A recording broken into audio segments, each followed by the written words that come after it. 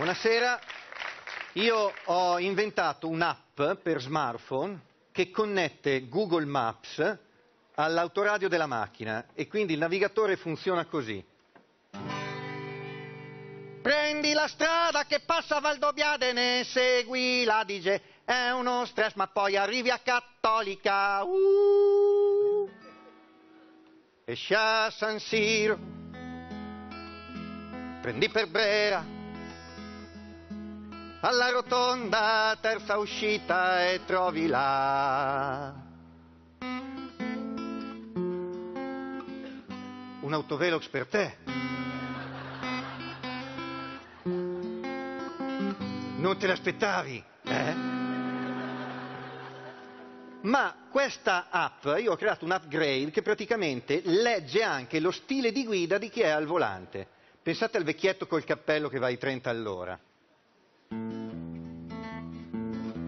Questa mattina t'ha sorpassato, perfino un ciao, fino un ciao, fino un ciao, ciao, ciao, questa mattina. Sullo sterrato ti ha passato anche un tractor.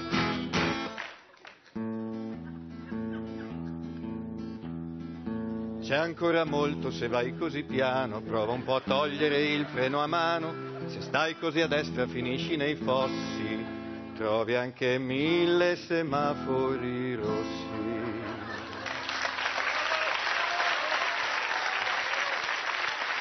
Alla rotonda girare. C'hai uno dietro che suona. Ti sta mandando a cagare. Tu e la tua panda coupé. La tua panda fa un po' croc, ci vuole un centro d'assistenza. Ti sei fermato alla Tamoil, ma di miracoli son senza anche Gesù.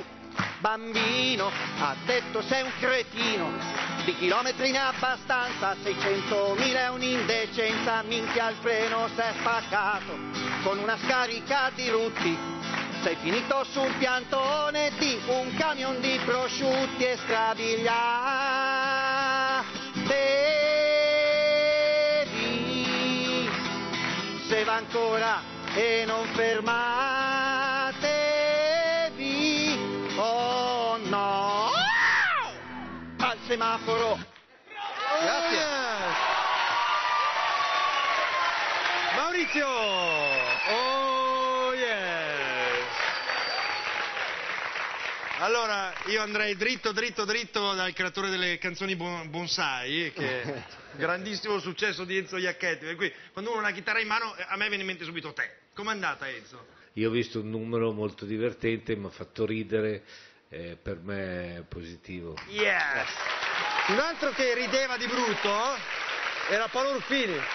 Sì, davvero Maurizio, mi hai fatto molto ridere perché ha il vantaggio del tema, quindi ci siamo indirizzati su quello, c'è un aspetto minimale che ci consentiva ancora di più di concentrarci sulla musica, che non è male perché cioè, cioè, sei, sei diventato stupefacente, nel senso se arrivi tutto piccolino e poi hai anche una bella voce, per cui grazie. Selvaggia? Allora, eh,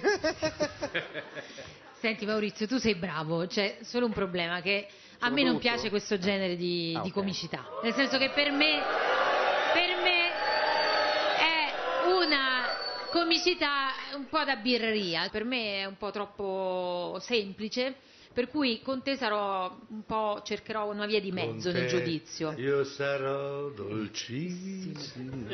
Prego Diego! No. No, invece io amo la birreria. Nel senso che... Ma non perché... Beh, beh, Eh, vabbè. amo la birreria. Come sei a chiappa like? No, a, a, birreria a prescindere da- dal fatto che non ho mai visto nessuno fare il cabaret in birreria. E tu facevi ridere Oh. abbastanza e secondo me funzionavano le cose, nel senso che bravo e era carino quello che hai fatto. Andiamo ai voti, andiamo ai voti, forza! Vediamo un attimo questo navigatore dove ti porterà. In un bel posto o meno.